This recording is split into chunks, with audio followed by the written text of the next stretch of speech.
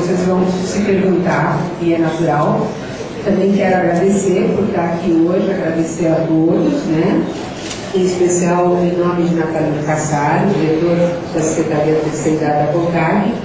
Bom, antes de falar o que é Terceira Idade, eh, eu queria colocar eh, que para nós é muito importante, nós somos paulistanos, né? lá da Gema, né? a gente nasceu, nasceu em São Paulo, e para mim a questão rural é uma questão que a gente tem conhecimento teórico, não tem um conhecimento prático, sei das desigualdades, das dificuldades e da luta do trabalhador rural, que é tão grande ou maior que a do trabalhador urbano, especialmente por estar longe né, da cidade, longe dos meios de comunicação tendo dificuldade de acesso à informação, a direito e à cidadania.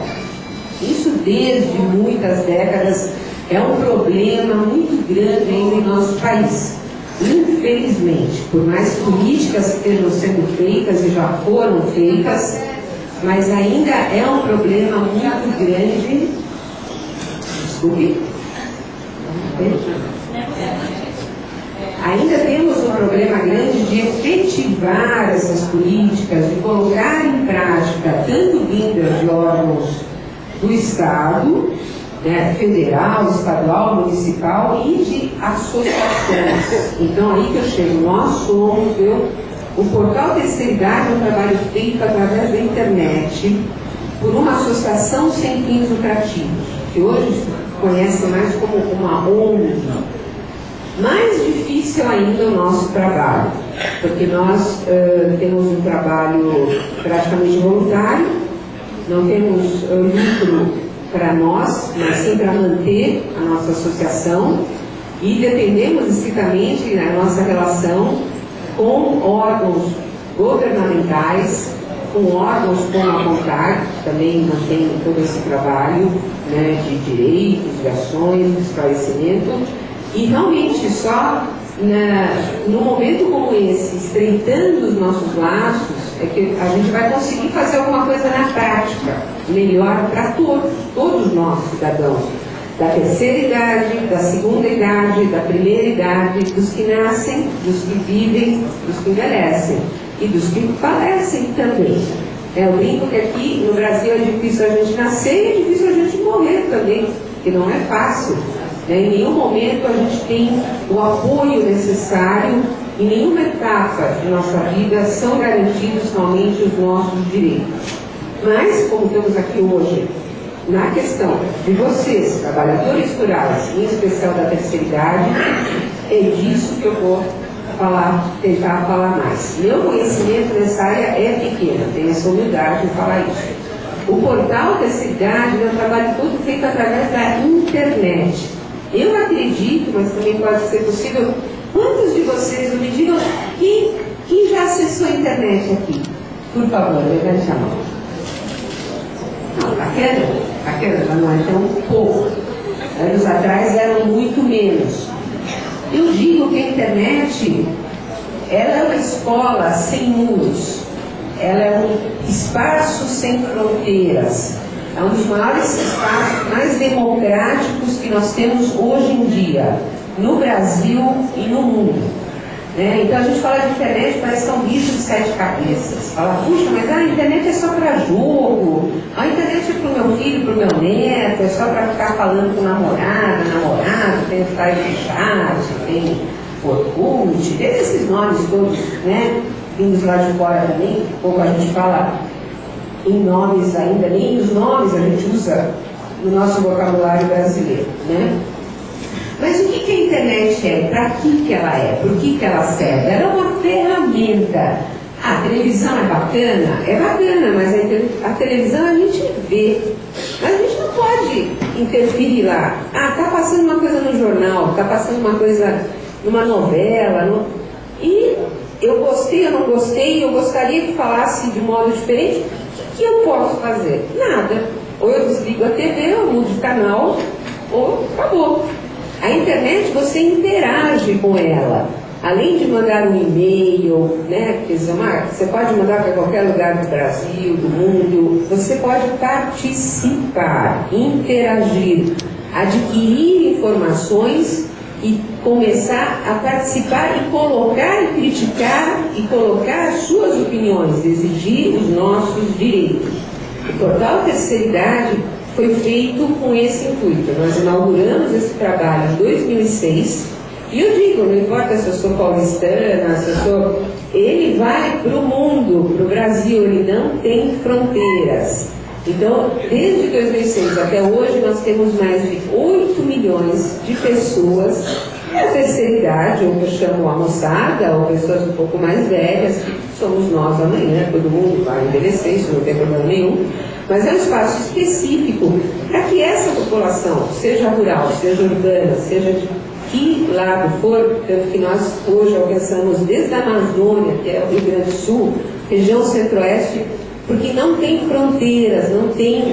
Uh, é um espaço livre e também ele liberta muito a pessoa da questão da mobilidade. Então nós trabalhamos sim com muitas associações que estão junto conosco, espero que daqui para frente nós possamos também estreitar nossos laços, porque como o Mauro falou, como a Neuza falou, como todos falaram, programas lindos e maravilhosos querem ser implantados, desde a educação.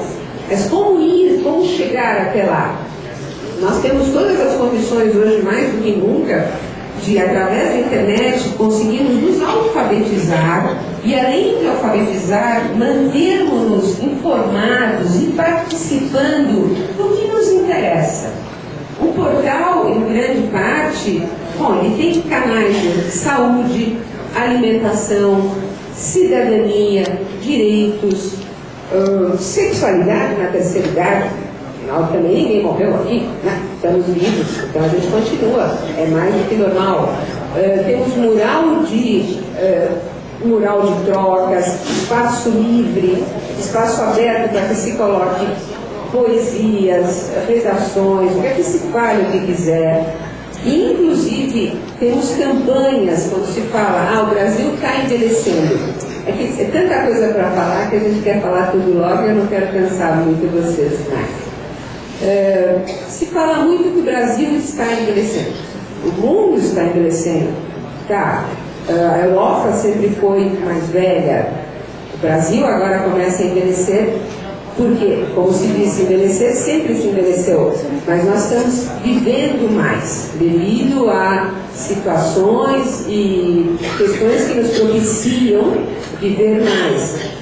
Com que qualidade de vida, isso ainda é questionável. Mas envelhecer não é problema algum, é como o país, o governo e a sociedade vão tratar a situação nesse momento, que chegou também já no no, no bico, né? está na ponta, no gargalo. Não tem mais como colocar isso embaixo do tapete nem deve ser colocado. Porque nós estamos num momento em que a população idosa é muito grande, vai ser mais grande ainda, maior.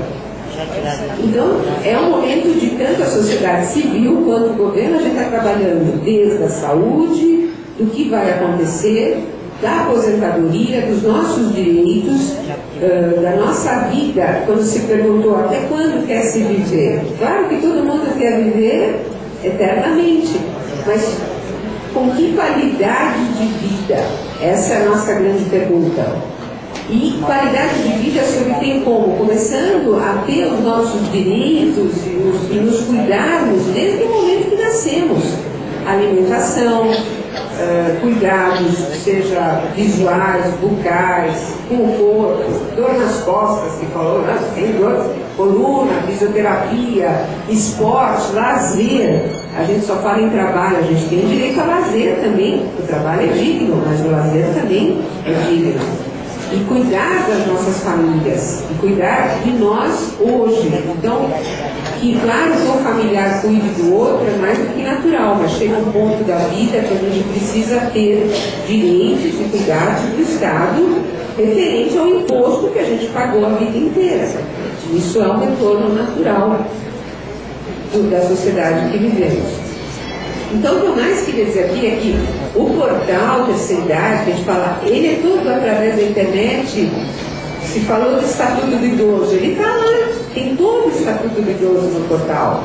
Uh, se fala em geriatria, nós temos informações, tem, hoje nós temos um geriatra para cada 5 mil idosos. O que é um geriatra? Nada mais é um, é um médico que vai se, se especializa no tratamento da pessoa mais velha. É como seria para um bebê. A gente vai modificando o corpo, vai modificando as nossas uh, pequenas coisas. Então, tudo isso tem que ser trabalhado. E o portal trabalha desde alimentação, são informações, mas que tem um espaço aberto para que todos possam se colocar. Um dos exemplos, quando a gente vai falar aqui na coisa mais prática, tá? vamos falar do trabalho, da questão da, dos direitos do nosso trabalho, seja quando trabalhamos ou quando estamos querendo nos aposentar ou já aposentados. E o que a gente tem direito a receber ou não, o que a gente deve pagar ou não. Hoje no portal nós temos um canal que se chama Direito, Direito do Idoso. Estamos aqui, temos um grande prazer de estar, estar junto conosco a nossa coordenadora jurídica do Portal da Seriedade, ela é advogada trabalhista, ela também trabalha com direito social, trabalha com aposentadoria, Jéssica Brum, que está aqui presente. Ela veio de Curitiba aqui para nos homenagear também, participar. Então, vamos dizer, hoje talvez, não sei quantos têm acesso à internet ou não, mas no levando isso para todos através do portal, em parceria com o governo, em parceria com órgãos sociais, da sociedade, uh, ONGs, associações, vocês têm como entrar, colocar suas dúvidas, suas perguntas, sugerir matérias e ela, com todo o corpo jurídico, vai responder. Vai resolver não sei, ela vai dar um caminho para que essas outras contas que foram colocadas, todos esses programas que estão sendo feitos, vocês saibam aonde buscar, como buscar e qual é o seu direito. E tanto assim na área jurídica, quanto na área de saúde também, como colocou também uh, do Ministério da Saúde, aonde buscar, onde buscar uh, uma assistência de saúde na sua região, no seu espaço, seja urbano ou seja rural. Aonde buscar uh, o seu, a questão social, quando se fala no CRAS, ou no LOAS, tudo isso vocês vão ver no portal e vão entender por onde a questão do do querer estudar ou, ou, aprender a ler ou continuar lendo mais. Nós temos desde as UNATs, que são universidades livres da terceira idade. Também acho, puxa vida, chega uma época a gente não está querendo tirar diploma para arrumar emprego, nem nada. A gente quer ter acesso à informação. Eu acredito que é isso que vocês queiram.